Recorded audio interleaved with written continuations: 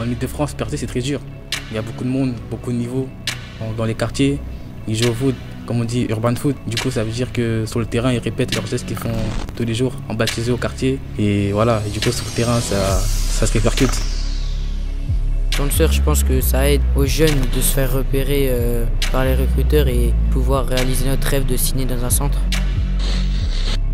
T'arrives à l'hôtel, tu vois le sac Adidas, tout. Vraiment, t'es, tu dis, t'es comme un pro. Directement snappé, j'ai envoyé à mes frères et tout et tout. T'es, es prêt, comme on dit. C'était le kiff parce que moi j'ai préféré ces Pogba, il est sponsorisé Adidas. Et je voulais avoir comme lui aussi.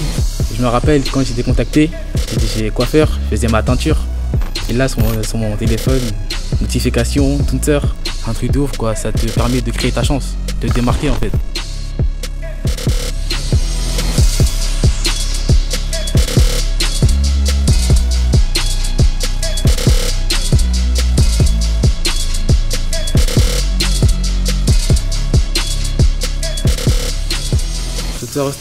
C'est une très bonne expérience à vivre. En 48 heures, on a réussi à former un groupe soudé. On voyait qu'on était un groupe comme, euh, comme tous ceux qui se connaissent depuis longtemps.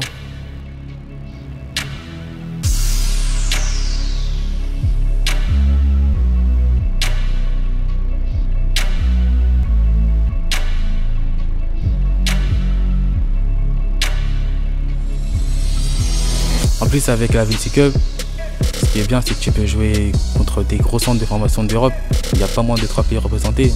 Par exemple, tu peux jouer contre Porto, City, PSG. Tu vois, c'est des équipes, tu vois, en Champions League, mardi soir, mercredi soir. Du coup, voilà, quand tu joues contre eux, c'est que du bonheur.